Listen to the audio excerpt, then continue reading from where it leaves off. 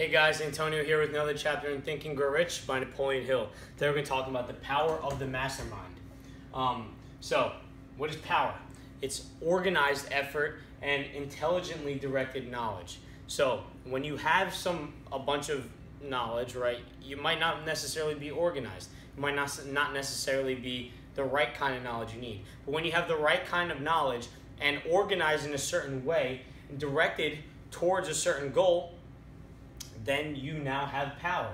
When you're acting on it, that's what it is. Knowledge is only potential power, but when you organize it and direct it in a certain way with action, that's when it becomes power.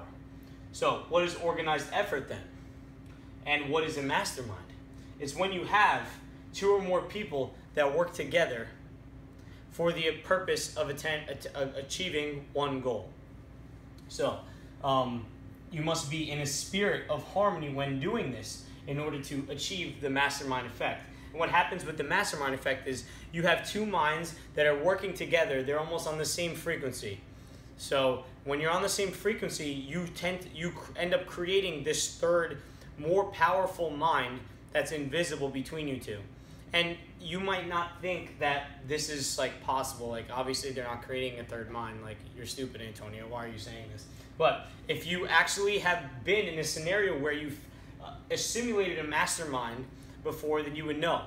Um, if you've ever had a brainstorming session with a friend where it seemed as if your ideas were flowing off one another, where you said something and then your friend said, "What if we add this on top of it?" And then you then you came back and said, "Oh my God, that's great. What if I add that on top of it instead? Or what if we took out this and added that?"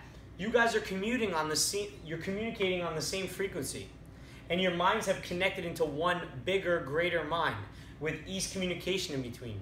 But when you try to communicate with someone and you're angry at each other, how many times have you ever been able to come up with ideas until you've gotten into the same spirit of harmony? Probably never. It's really just a lot of yelling at each other or a lot of attacks at each other. So when you're in a spirit of harmony, you're both working towards one goal. Then you'll be in a mastermind. And I used to not believe that this was something that was important. I was like, I could do everything on my own.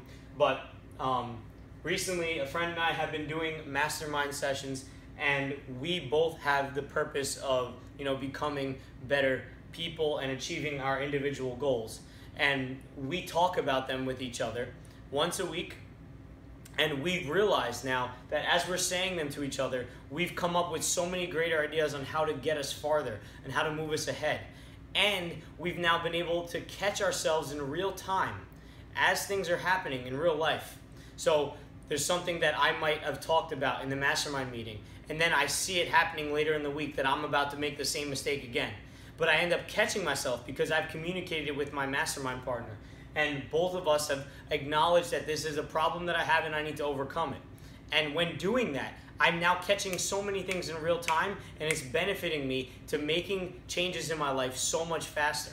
Having this other person that's there for you to help you get towards your goals and you help them towards you help them get towards their goals, you now both accelerate and help each other get up and move a lot faster. So, hope you guys enjoyed today's video of Power of the Mastermind. Please leave me a thumbs up, guys, if you enjoyed it. Um, I'm going to leave a link in the description down below for you to purchase a copy of this book. Stop everything you're doing right now and buy this book. Do it now. I'll give you three seconds. Okay, hopefully by now you've clicked on the link. Now go buy the book.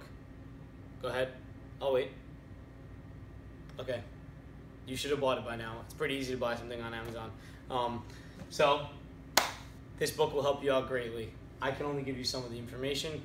You can read all of it in the book. Guys, as always, subscribe and have a wonderful day.